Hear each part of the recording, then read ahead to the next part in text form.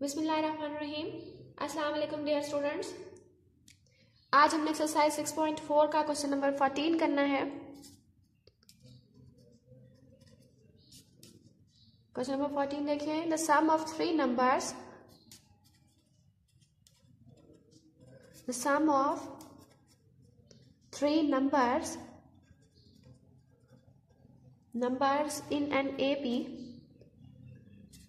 in an arithmetic progression is 24 and their product and their product is 440 find the numbers.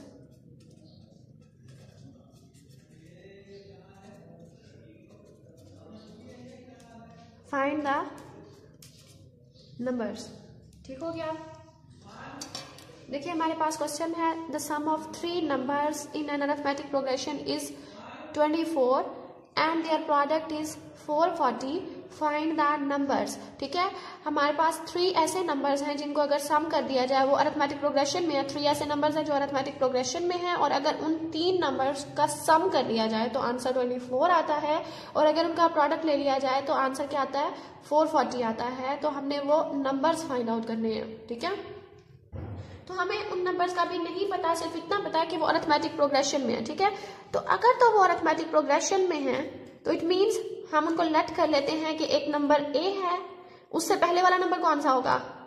A minus D मतलब A minus D अगर एक number है तो उसमें जब हम डी को डिफरेंस को ऐड करेंगे तो हमारे पास क्या आएगा? ए नंबर आ जाएगा, ठीक है? फिर इससे नेक्स्ट वाला नंबर चाहिए हमें तो हम अगर ए में ऐड कर दें डी को तो हमारे पास थर्ड नंबर आ जाएगा, ठीक है? इस तरीके से हमारे पास ये थ्री नंबर्स बन गए अरिथमेटिक प्रोग्रेशन में, ठीक है? अरिथमेटिक प्रोग्रेशन में नंबर्स कौन से होते हैं? अगर हमारे पास एक ए नंबर है, उसमें हम डी को ऐड करेंगे तो नेक्स्ट नंबर आएगा, ठीक है? तो इसी तरीके से हमने अगर इससे पहले वाला नंबर फाइंड आउट करना है तो डी को माइनस करना पड़ेगा और फिर पहले वाला नंबर आ जाएगा, ठीक है? तो इस तरह ये हमने तीन नंबर्स बना लिए जो कि अरिथमेटिक प्रोग्रेशन में है। अब हमने ये नंबर फाइंड आउट करने अब ये नंबर फाइंड आउट करने के लिए हमें क्या करना पड़ेगा? ए चाहिए और डी चाहिए, ठीक है? अब ए और डी फाइंड आउट करने के लिए, हम क्या करते हैं? हमें पता है एज कि इन थ्री नंबर्स का जो सम है वो ट्वेंटी फोर के इक्वल है।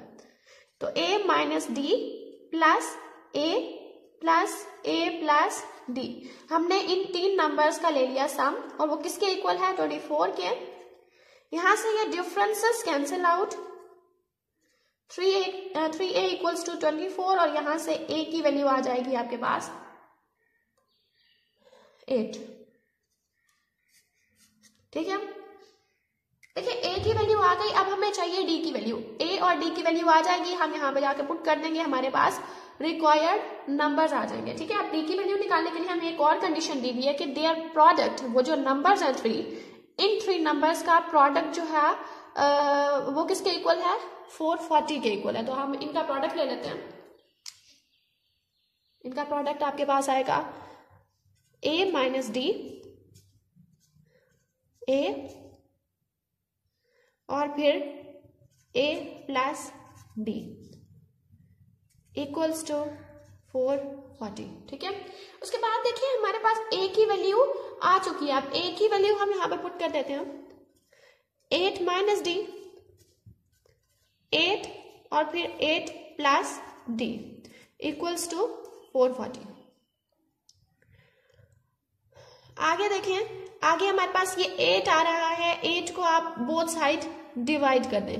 और ये आपके पास इन दोनों को मल्टीप्लाई करेंगे तो ये बन जाएगा sixty four minus D square eight को बोथ साइड डिवाइड कर दें तो ये आपके पास आ जाएगा four forty divided by eight equals to fifty five ठीक हो गया? उसके बाद हमें डी की वैल्यू चाहिए, ठीक है? तो डी को इसी साइड पे रहने दें। डी स्क्र को, और 55 उस साइड पर जाके मतलब डी स्क्र को इस साइड पे ले आए 55 को दूसरी साइड पे ले जाए तो ये 64 माइनस फिफ्टी हो जाएगा। और यहाँ से आपके पास डी स्क्र की वैल्यू आएगी नाइन और फिर डी की वैल्यूज़ आ जाएँगी two which is plus minus three ठीक है?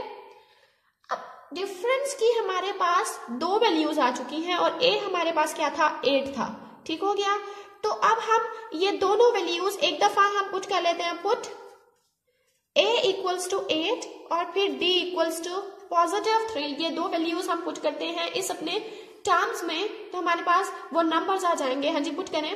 तो हमारे पास ये एट माइनस थ्री फिर एट फिर एट प्लस थ्री आएगा।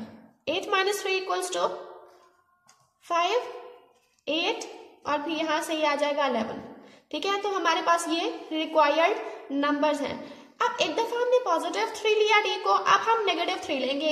ए को एट ही लेंगे। Put A equals to eight और D equals to negative three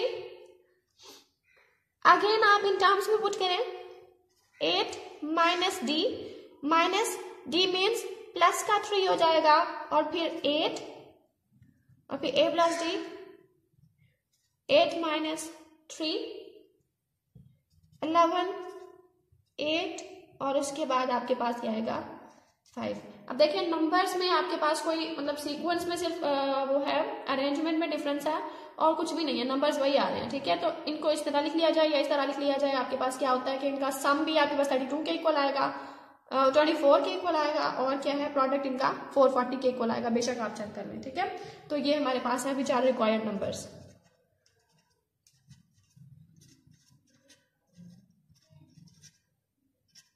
numbers ठीक हो गया? ओके बेटा, आज के लिए इतना ही। इंशाल्लाह नेक्स्ट टाइम कल करेंगे। अल्लाह हाफिज़।